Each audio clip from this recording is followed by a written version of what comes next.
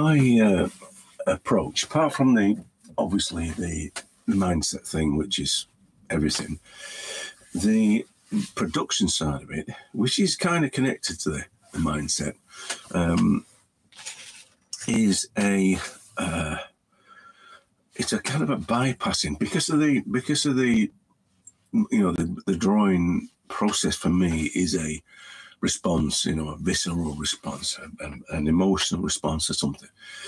Um, that clearly is connected to my mindset. That's I have to be in that place. I have to have this uh, no fear kind of um, no expectations approach to it, which is fundamental. But what it how it manifests is that the way I make the marks, the way I um, capture things, isn't what you normally see.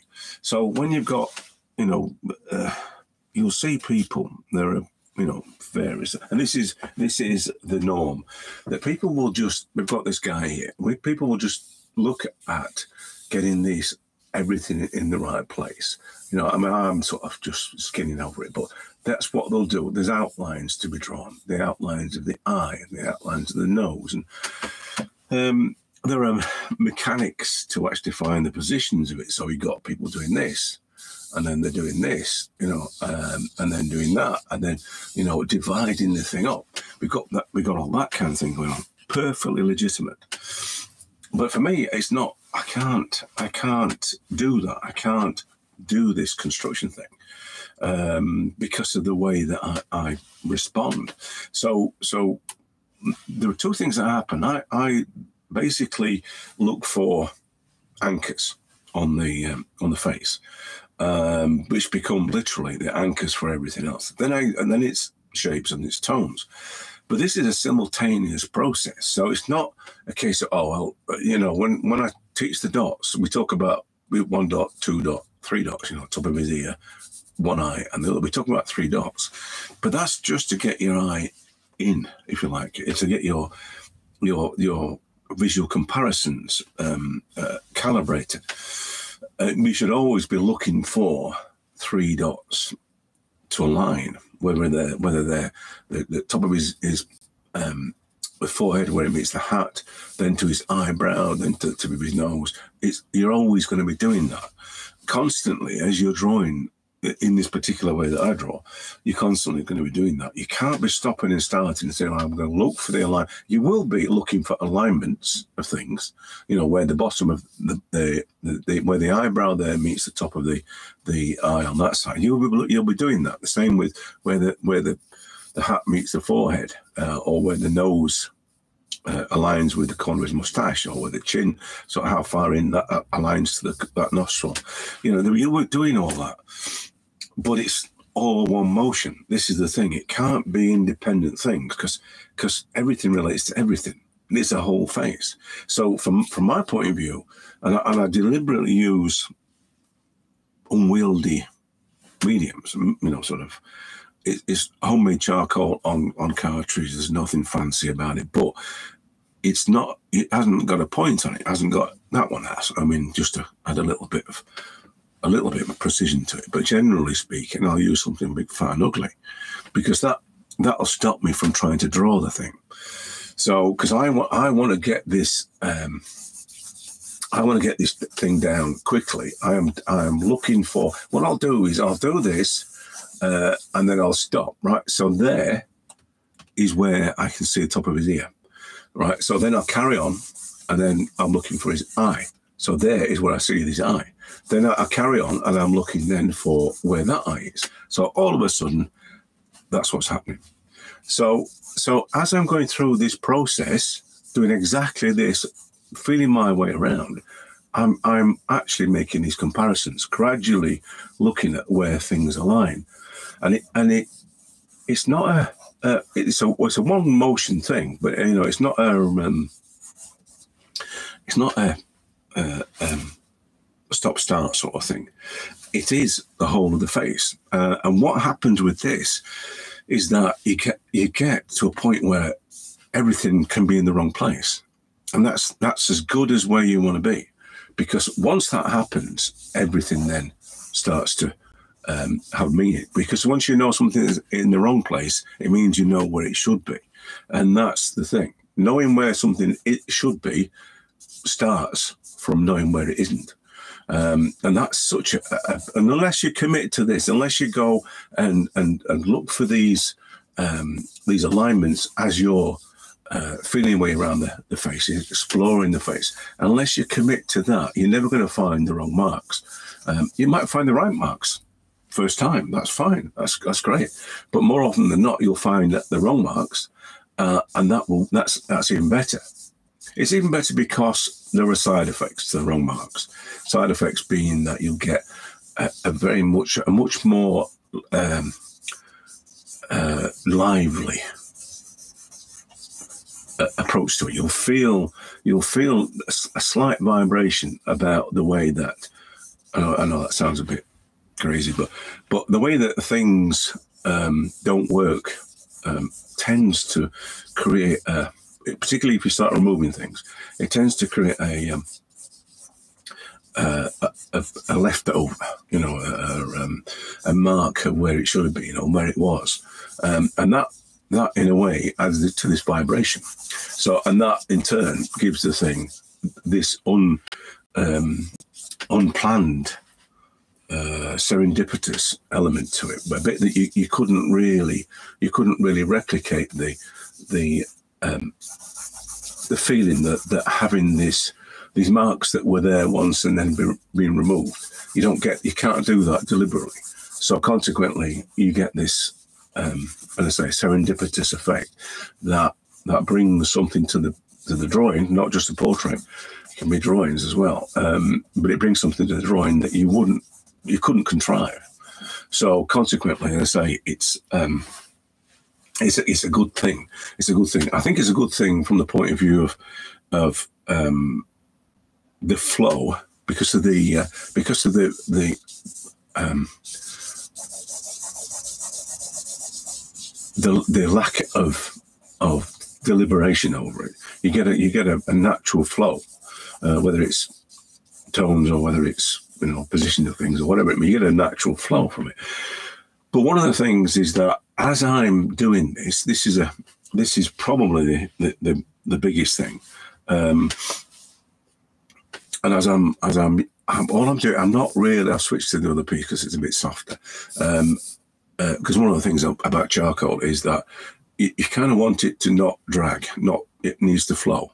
So if you use shop or whatever, you'll naturally get a flow. Some, but with the natural stuff, um, you get its its uh, density changes, so you get it will it will suddenly get hard and spiky.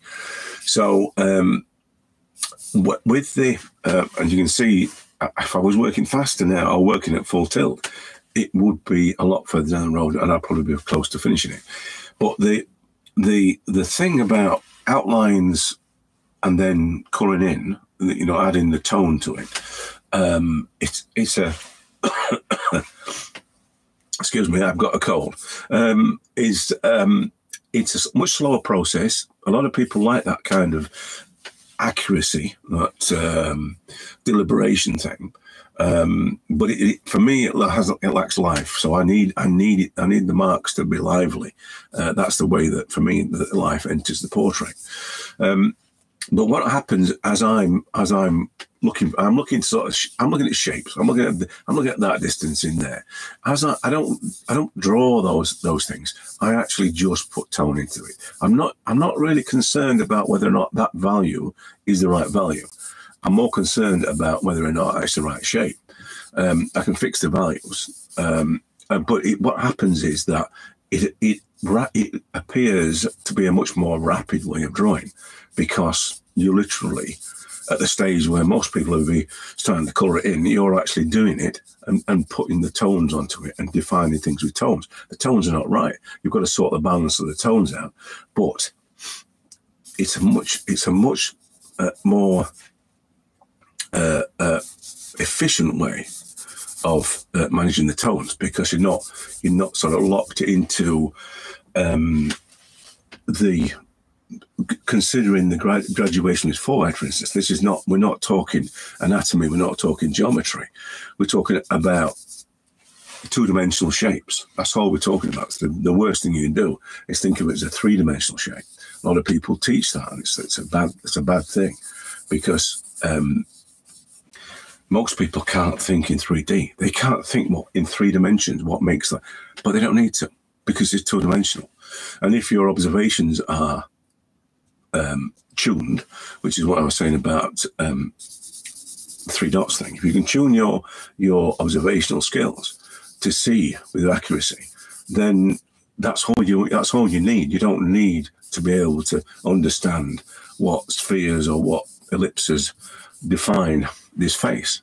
You just need to be able to see how the tones relate to each other, how the shapes relate to each other. And by using shapes and tone to draw, as opposed to trying to draw with outlines and then color it in, you you accelerating the process, which is not not the point.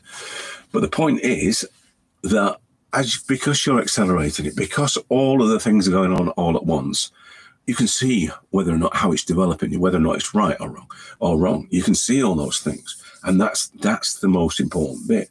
That you can see everything in relation to everything. You can see whether or not the hat is um, the right size. You can see all that sort of stuff because it's happening right now. It's not a case of, oh, I'll wait, to, I'll get to that bit when I've done the eyes. You know that that sort of bit by bit kind of approach. It's not like that, um, and, and that again is it's partly because um, people fear uh, doing this. I, I, can imagine that that would be a, a big uh, inhibitor because just scribbling with charcoal, it can be it can be quite daunting. I mean, drawing a portrait is daunting for a lot of people, um, but by um, uh, having the the right mindset and having the you know the, uh, uh, I suppose unleashing your um, your uh, self to doing this rather than it being a you know a, a limiting thing because that's that's I've just seen somebody talking about self-limiting beliefs now, and that and that's kind of, um, you see, self-limiting beliefs. It's fine, but um, it's a de- it's a it's a mindset thing. Line, uh, self-limiting beliefs are just simply a symptom of having the wrong mindset. So so you know, if if people start talking about you know having uh, self-limiting beliefs, then if they don't address the real issue, the mindset issue, then they're not going to fix. They're not going to be able to fix your uh, um, the problem with self-limiting beliefs, um, because primarily everything, whether it's whether it's fear of failure or whether it's artist block or whatever, all stem from expectations. Um, and and as I say, often say to students, zero expectations. It is what it is. What you get is what you get. Don't think of of um, of oh I've got to be this good or I've got to I've got to do it in this way or you know anything like that. Don't fear the, the process. Don't fear the marks that you make. There's all all that sort of thing. But um, this is why this process works. This way of working works. It's because uh, having zero expectations, you fearless. Your mark making is fearless, um, and it has to be. It has to be fearless. It has to be completely whatever is going to happen is happen happening. The, the, practical side of it is you learn to actually uh, see relationships on the fly, if you like, as you're you're scribbling your way around. You're seeing, you're looking for those relationships. You're looking for the top of his eye and the corner, uh, sorry, top of his corner of his eye. You're looking for those things as you're doing them, but it has to be simultaneous. It can't be bit by bit. It can't be trying to find the alignments and then color it in it doesn't work. It's got to be you've got to be doing it real time. It's got to be doing done uh, as a as a one motion thing. Um, because what happens is this is a strange thing. I, it's a thing that I read in Robert Henri's book the other day uh, about if if I change, say, the shape of that hat there, just change the top bit of that brim, it affects everything else. So that if I look at that in relation to everything else on there. I see how that then impacts on the uh, on the hair that's been uh, that's coming out of the back there as well. So I, I everything relates to everything. Unless you're doing drawing the whole face simultaneously, you're not going to you, you're going to be struggling. To, you're going to have to get back to the you know, the drawing, the outline, the, the planning, the all that kind of thing. Well, there is there is no planning to this. It's just completely responsive, and that's what it's all about. You have to be making art. Full stop is a responsive um, process. You, you respond to whatever's before you, um, and that's and that's and however you respond is is how you respond. That's the that's the beauty of it because it's your response and not somebody else's. So if you're locked into somebody else's methods, then chances are we've already gone through the process of figuring it out. Chances are you're going to end up doing it like them. And if you, if it's doing it like them is the goal, then you're going to suffer with comparisons. You're going to suffer with, you know, artist block and, and fear of failure and, and um, self-limiting beliefs. Because half the time, these people that are really good at doing the outlines and colouring it in have spent thousands of hours learning how to do it. So you're you're just, you know, you've no chance, no chance of doing that. So you've got to, as Robert Henri says, you've got to be master of what you can do now. So we're always masters of our current status of our current skill levels. Masters are something that somebody else defines. They're not. You're always a master of what you currently can do. You should be. Um, otherwise, you're always anticipating this mastery to arrive at some point because of a consequence, i.e., that you spent a thousand hours doing something. So this this point of this, what I'm trying to make is that, as you can see now, as I start to tighten everything up, get the the uh, you know the right sizes nailed down, because I know I can. I've got that the back of his hat there in, the, and I know that they say the distance from the back of his hat to there is too short. So it, as that comes down, then it comes to there. So I can fix all these because I've already got these nailed down. They're not. It's not you know hard and fast, but it will suddenly start to get to a point where I can then worry about the densities. You can see how using the tones has identified all the shapes, all the major shapes on it, uh, and applying tone rather than outlining things gives me a better comparison because I can't, you know, you can't really see if it's just outlines. Having actual uh, tone on there, it makes it easy to see the shapes you're trying to identify.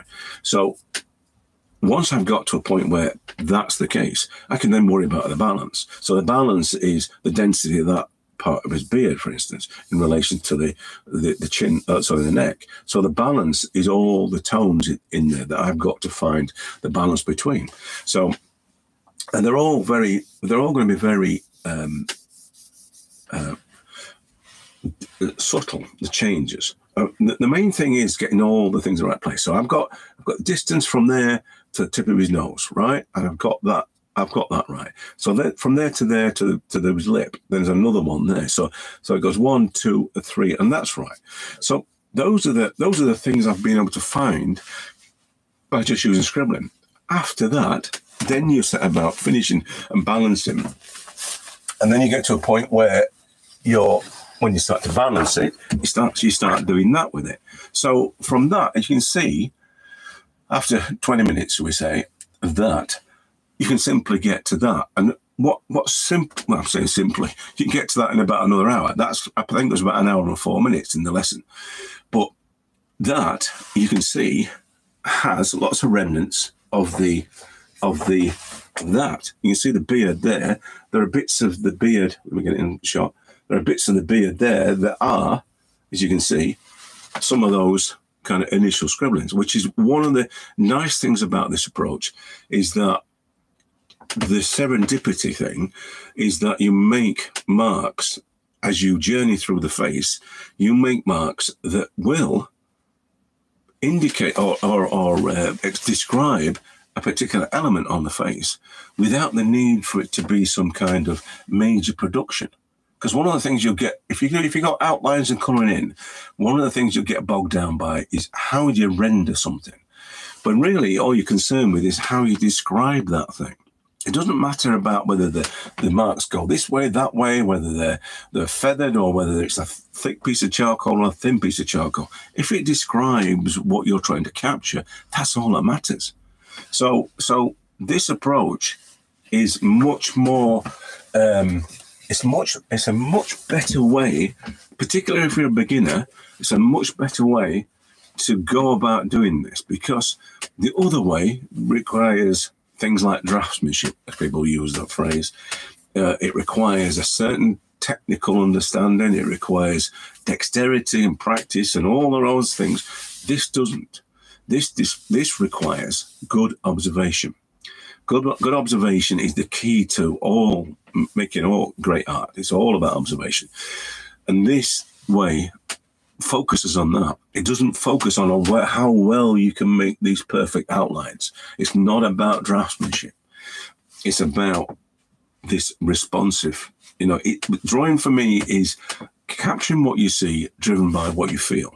That's what, for me, drawing's about. And and having that approach turns everything on its head. From from as I say, from a beginner's point of view, it just opens up so much potential.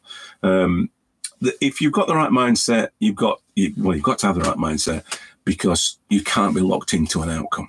You know, if you expect a particular outcome from something, and I know it's a portrait, and you always have a, you know, it must look like somebody kind of scenario. It will look like somebody. Uh, trust me, if you connect with a subject, it cannot help but look like the person you're drawing.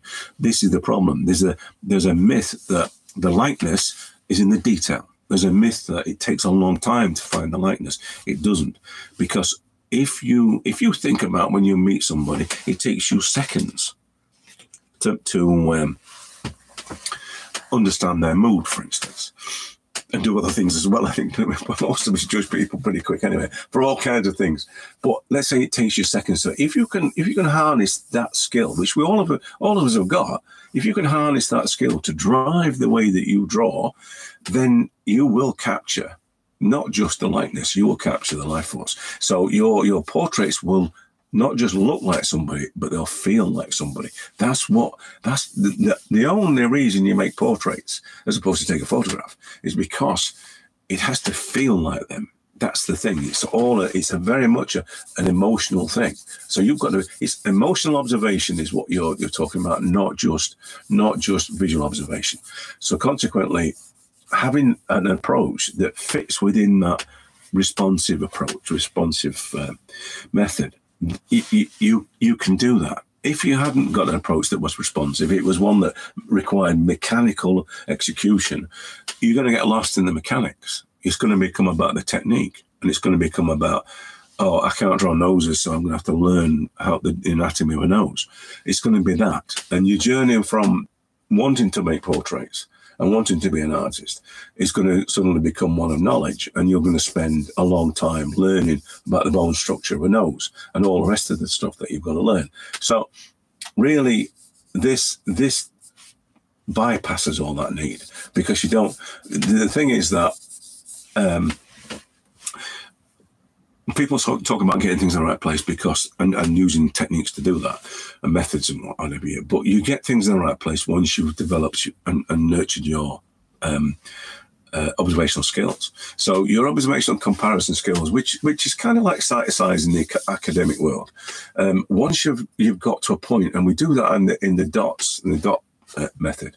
Um, but once you've got to a point where you can you can see positions and accurately see the distance between things, whether it's comparisons with other things or whether it's just simply three dots and seeing the distance between dots as, as we do.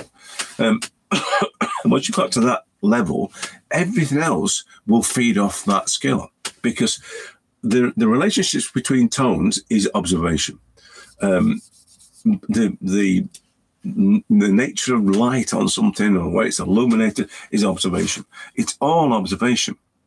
The way you make marks. The, the thing about this, particularly this approach, is that you have to be you have to be present to what you, what's happening because you won't see um, uh, you may not see the um, the accuracy of your marks if you're considering a particular outcome, for instance. So you have to be present to the, you know, what's happening. Um, it's not just a case of, oh, I'll get there in a minute. I'm working towards making that happen. As you make these marks, what's happening? Is it does it look like it's it's it's that particular part of the face? Am I seeing that thing there? It, it, it's a it's being present really with the with the portrait. But the thing about that and why that's important is that if you're not present when you make a portrait, and this is Robert Henri talking about the first moment that you make, you know, you um, you encounter a face. is is that that's the moment that you capture. Anything after that is just labor. So so if you haven't got, if you're not present when it when it's happening and you haven't caught that first moment, then you're never gonna catch it because you're gonna you're gonna end up where um, you just it just turns into a, a labor. It just becomes a um, what he calls it a data gathering exercise. But that that's kind of what what the problem is, and a lot of people aren't present when they're doing it because they're focused on the outcome, and the outcome is probably driven by technique. So it has to be this good. It has to be this detailed. So so that's their priority. That's their you know their um, their aim and their objective, and that to a lot of people that's what making art is, and that's what making portraits are. So, so and consequently, it feeds into a different narrative. So people are people are coming to this. If you're new to this, people are coming to this, and that's the narrative they see, and they see the con, you know, the the um, uh, the the approach that these these people take to get to that narrative, and it's all loaded into technique and, and, and, practice and you know years and years and, and whatever um, and it's all loaded into that and that becomes the the path that they have to take or feel they have to take. And consequently, that's loaded with pitfalls, i.e., you know, I'm not good enough and, um, and fear of doing it and all that sort of thing, which is, you know, a consequence of this wrong approach. So, so again, that's back to mindset. But the um, the idea that you can you can uh, capture it quickly using something like this, which was, you know, 20 minutes and if I'd been, as I say, full tilt, we'd have done by now. But the idea you can capture that essence quickly, everything after that is just as far as you want to go. Because one of the things that this does and this approach does is that if the if the purpose of a portrait is to capture the essence of a face, yeah, no more than a likeness, it has to feel like them. As soon as you've caught that essence, you stop. You don't carry on doing it. You don't need to carry on because the objective has been uh, has been fulfilled which is I just wanted to capture the twinkle in his eye or whatever it might be that moved you to capture his face. So there's a whole raft of other benefits from having this approach to having one that's driven by a technical outcome, because this approach is just simply um, it's done when it's done. It's done when it feels right. But you can't have that approach if you've got the wrong mindset. If your mindset says technical ability and it says uh, detail and it says uh, as good as somebody else and all the rest of it, then you, you, just you don't know when to stop. This is the problem with technical and, and, and detailed approaches is that when do you stop? When is when is enough detail enough detail? That's that's the thing, and that's why people have problems to stop it because their their outcomes are based on this skill level. Um, it's the reason why people stop, and it's the reason why people don't start. You know, so uh, skill is a is a is a great thing, and these skills you will develop skills. The first skill you've got to develop is observation, but but you can already do that. We just people forget how to look properly. Um, but once you've you've um, got that nailed down, all the things, the you know, the way you make marks, the way you smudge things, and the way that you know position it on the paper, everything, all of that is your journey. So your skills, again, read Robert Henri's Art Spirit. All of this is in that, but but he talks about you know uh, accumulation of skills in order to use them, you know, in an application. You should always be fresh to something. It should always be a new experience. It's whatever skills you've developed, they're useless because this is a different face. Every time it's a different face. It's not about accumulating skills, practicing how to draw nose and all that. It's not that. You just you just you you develop a kind of a um, a dexterity for doing this, but the actual process may require different skills, and and you'll apply them at, at the moment that you're, you're you need them. That's that's the thing. Um, so and that's and that's all driven by ultimately by your goal to capture the essence of somebody. So your skills will develop based on that, um, and that's it. It's not. Uh, it's not. This is this is the thing I keep trying to tell people. This is not hard to do um, the dexterity thing, you know, the, the being able to make marks, and you know, I'm working at arm's length now, so I always talk about, you know, you must you must work at arm's length. You must distance yourself from where you're working. Never lean on it, and never get too close because you're gonna have all. If you this is just practical stuff. If you're working like that, you're always gonna have trouble with proportions. Um, if you work literally side by side, or if it's a, if it's a live model side by side. If you work like that, you're always going to making you're always making vertical comparisons.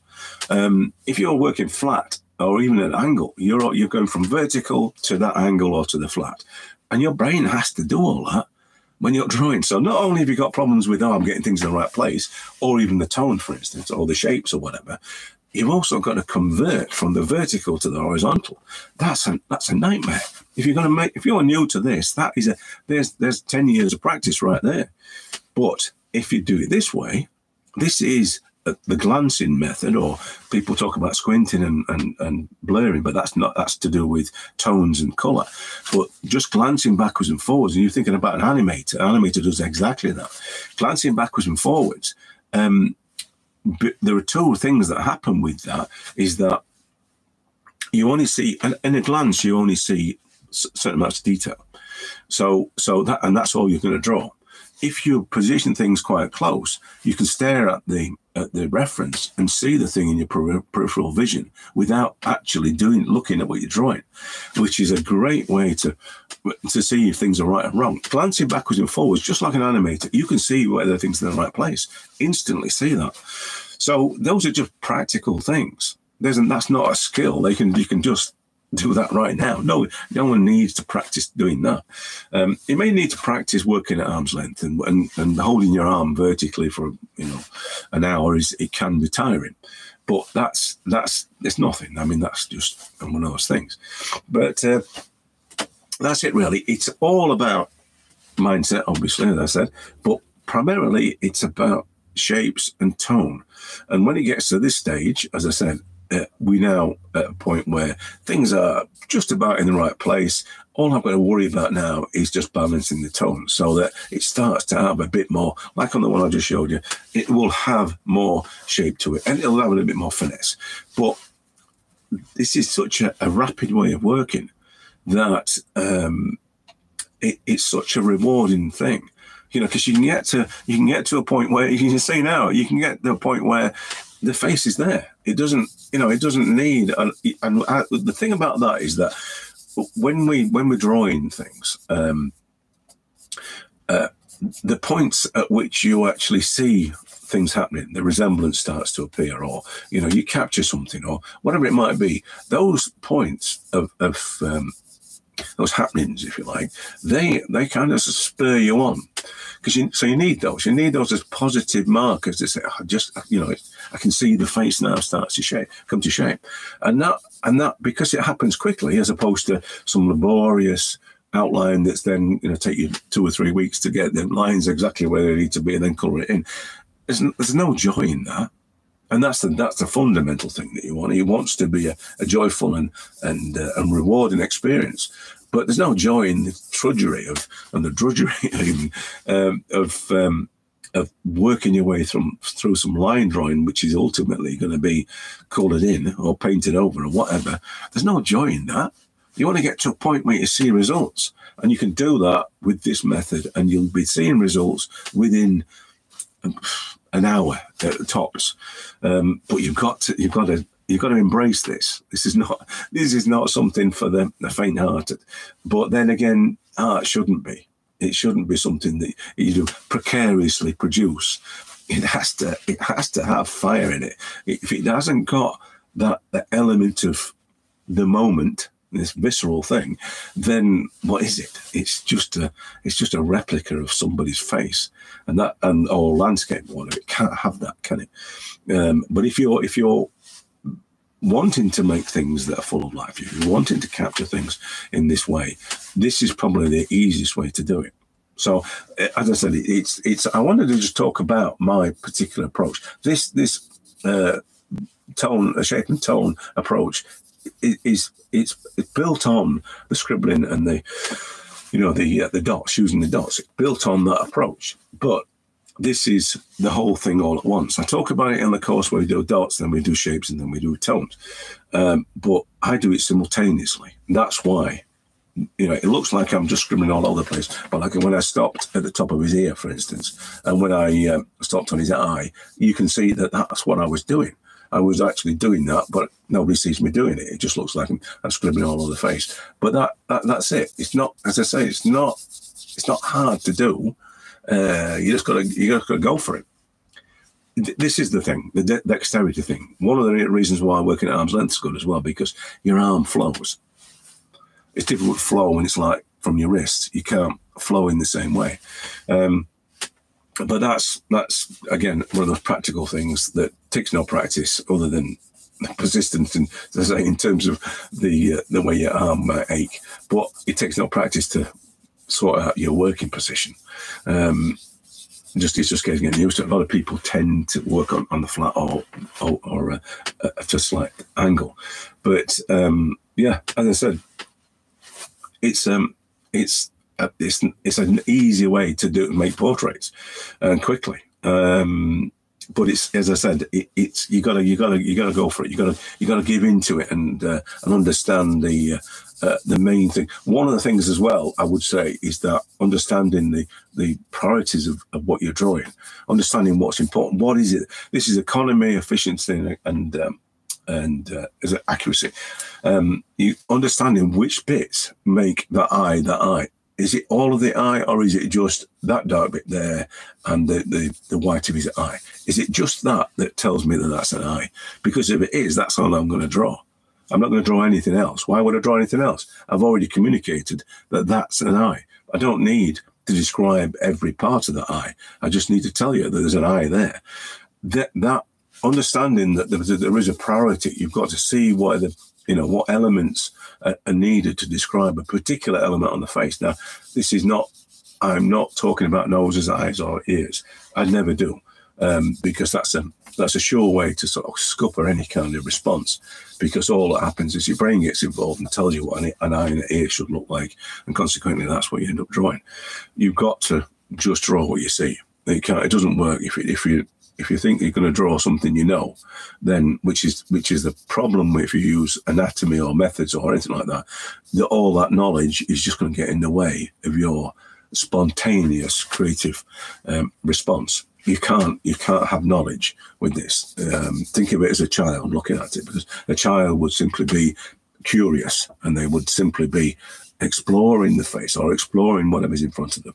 That's what you need to be doing. So that's, as I say, is a um, uh, um, probably a, a, a, one of the biggest things in terms of uh, this this method, the idea that that there are things that have more priority, things that make things work, and things that are unnecessary. Because you can there are you can get embedded within the unnecessary as well. So you get locked into a an eyebrow or an eyelash when really it's unnecessary because it's not the eyebrow in that, in this case. There's, there is that sort of dark mark there, almost like a shadow there, but it's mainly that dark mark there and that bit of white there, and that's about it. There's not much. There's not much else that describes that eye. You can get you can go on and make it more detailed later, but at this instance, I'm already describing exactly what you need to see. So that's it. As I said, it's mainly the shape and the tone thing that I was trying to sort of get across. But but the other factors are you've got to have the right mindset and you've got to uh, understand about you know what elements particularly when you're working like this what elements make that thing work. What what's the most important things you've got to understand that um, and make that decision. So but after that it's just you know it's just doing it. Anyway so uh, that's it. I just want. I've got. Uh, I've got. I'm full of cold, so I, I didn't want to. I didn't know whether I'd do it. I was doing this, but but I just wanted to get over this. Um, the point of uh, the the shape and the tone and the you know the it works and the speed and everything else, um, and um, just because people are asking. That's all. That's, I just wanted to say, like, you know, it's not a big deal. It's this is really not a big deal. You can get bogged down with it if you want. If you choose that it, oh, it's going to be about detail and it's going to be hyper realistic and all that, fine. That's that's fine. But bear in mind that it takes some great skill to be hyper realistic and. Um, um, at the end of the day, you've got to think about how that fits with everything else, because hyperrealism is is a is a journey. You know, because you can never be too hyper realistic. You can never be too detailed. Um, and if you're going to choose that journey, then be aware of that, that you know, that fact and the effort and the work and the, these guys that do it have, have spent years doing it. Um, and um, but is that really what it needs to be? Is it? Does it need? Ask yourself. You've got to say, well, if that's my route, that's what I want to do, then that's fine. But know that it's going to be a journey. That's all. Um, whereas it, it, might be just because I want to just capture faces. I just want to capture, you know, the essence of somebody. That's a different journey. That's not hyperrealism. But as I said, that's probably um, just a, a, a, decision you're going to have to make. Not a, uh, it's not again not one of those things. Not the practicing element of that. You know, the decision to make hyperrealism um, is not a practice thing. It's just a decision to do it. But I would say, if you're interested in making portraits, never done it before, look at portraits that, that over the centuries that people have made don't assume that what you know to be a portrait is a portrait, is the only way to make a portrait. Because there are so many ways to make a portrait. Um, great ways that, that aren't hyper realistic or even realistic. That, you know, you've got to have a better um, uh, uh, palette of of what makes a great portrait. It's, it's like a tasting palette, you know. If you've never tasted certain spices, how would you know whether or not they're right or wrong? So it's it's that kind of um, open mindedness that you've got to have if you're going to make great portraits. Because one of the things you've got to do is let it be your portrait. And if you if you're locked into an outcome that is defined by somebody else, is that your portrait or is that their portrait? Is that is that their way of doing it? You because because what'll happen is that you'll draw it and it won't look like theirs. So therefore it's not good enough. This is what you'll tell yourself that's not good. That's not a good thing. So, so look at many, many, many, many portraits and look at them all the time. Be careful when you do look at them, because it's not about their the artist's ability. It's about the fact that this whatever they created is their creation and it's unique to them. Many of them do it exactly the same as other people. So, so you're going to get a lot of lookalikes. But let's say there is a general kind of uh, meme of a particular style uh, of portraiture um, that's what you're looking at. And that is the consequence of someone's personal response to a face, to a, another human being. That's what it is. It's not a measurement of their technique or a measurement of their ability or the, you know, the time they've been doing it or the knowledge or it's not any of those things. It's just that's how you got you've got to be objective about it. If you look at it and you're inspired, then that's not a good thing. You don't want to be inspired by people because that means that you'll end up painting like those people. You want to be you want to be appreciative of their work, and you want to be uh, acknowledge their their their skill and their their um, ability to capture um, a face. But it stops there. It doesn't influence other than the fact that you suddenly realize that your voice is as is as valid as their voice.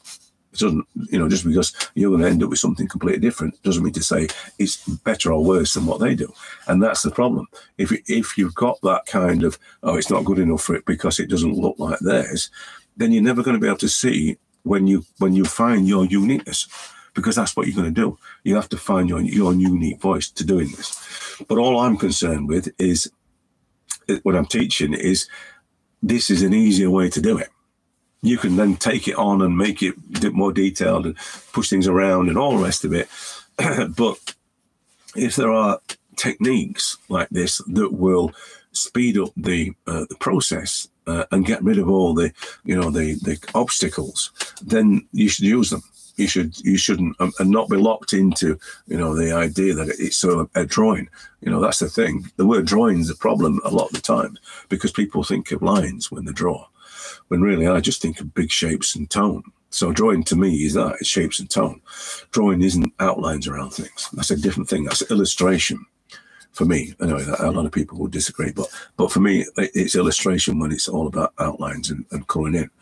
But that's it. I, am not going to ramble anymore. But i am going to finish this off and tweak a few things. Sort out the the uh, uh, the sideburns that just need to be uh, brought in a little bit. But the main thing with it is the tonal balance. So when when it gets to this stage and I'm getting things roughly in the right place, it then needs to the balance of the tones needs to be rectified to do that. So as you can see, this is getting that way, but I need to balance the tones better. So you get the forms. There's and underneath, underneath all this, you can see those lines like that are all underneath there, but it ends up where it becomes balanced and everything and everything it looks like this form. Remember I, am not considering three dimensions. All i'm considering is relationships of tones. It happens to look three-dimensional. It's just an illusion same as the detail it's an illusion. But but it starts with that. So anyway i'm gonna leave it at that and then hopefully hopefully i managed to explain enough so you can you can understand what i'm trying to say but essentially, um, it's not what you think it is. That's what it is. And I've done 2,300 of these now. So um, it's like, and the, the thing about it is just a quick one, because it's so fulfilling, it happens so quickly and it's such a rewarding thing. You want to do it more. And if you want to do it more, then you get better. It's as simple as that. It's not a practice thing. It's just that if you enjoy doing something, it's difficult not to keep doing it. You know, it's like a, and for me now, it's an addiction. So that's that's another side effect of having a rapid a rapid approach to this. That you enjoy it more, and if you enjoy it more, you keep doing it. And if you keep doing it, you get better. It's, it's a, a natural consequence. Anyway, so I love you and you, and hopefully, I've been able to get across exactly what it is that I'm about.